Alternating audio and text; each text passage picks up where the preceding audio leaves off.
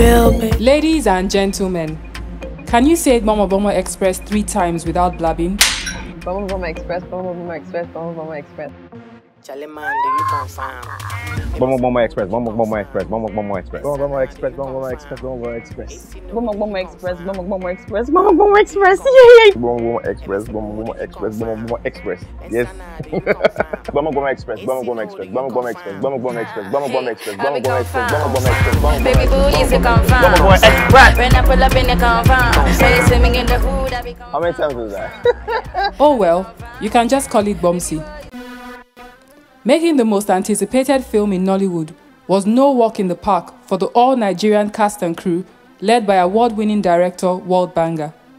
From writing a kick ass script that everyone wanted to be part of, to casting the right actors and sourcing financing for the film, Gbomsie's story is in itself a major blockbuster.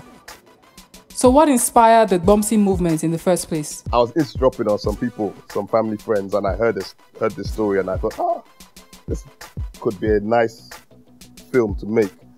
And then with some of the other ideas I had for some films, my film work, I kind of like combined those various ideas into one.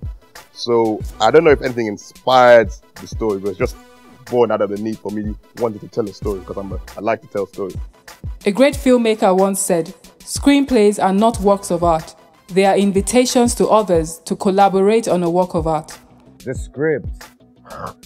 I have never seen a more retarded script than this script. I mean, like, really, like, who the hell asks an artist to play an artist? I just don't get it. I mean, like, duh. I definitely knew it was a movie I was going to enjoy making because for me it starts from the script. I mean, if I enjoy reading the script and I can visualize um, the characters from the script, then it would be a fun movie. Of course, it was coming from Walter, so I was really impressed uh, and I was looking forward to it even before I read the script. It was, it was very well written. A good script should be able to evoke emo- images, you know, and that's what it did for me. Amazing! I hadn't seen anything like that before. I haven't read anything like that before. Um, so for it to be my first thriller in in Africa to be filming it, I couldn't miss out on it. So I'm very grateful to be cast in, in Gbomo Gbomo Me and my big mouth.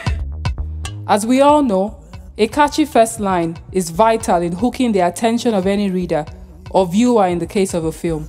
As far back as I can remember, I always wanted to be a gangster. Let's see how Gbomsie did in this regard. A time will come when people will say, I remember the good old days when money was really money. What's a great script without the right actors to deliver those classic lines? So did Gbomsie's lineup of Nollywood's finest young and veteran talent do justice to the script? So this my guy here below. He has itchy fingers. Go bust your head for it now. Or go ball into my shop. Even stars are capable of backgrounds and the occasional forgetting of lines. Loves her. And yes, he's almost twice her age and she's got him wrapped around that little finger of hers. Okay, but Keep going, keep going. Just Yeah. work it, work. We leave you with these nuggets of wisdom from our stars.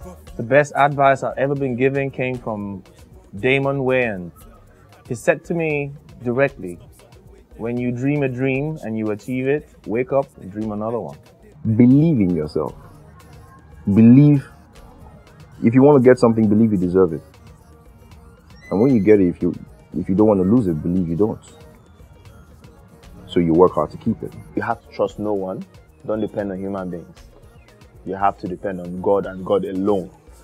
Um, for those of us that are married, at the end of the day, it, it boils down to you and your wife, then the rest of the world. The best advice I've ever been given in my entire life is be yourself. Don't sit down and expect things to come to you. If you know you want something, go after it, go get it.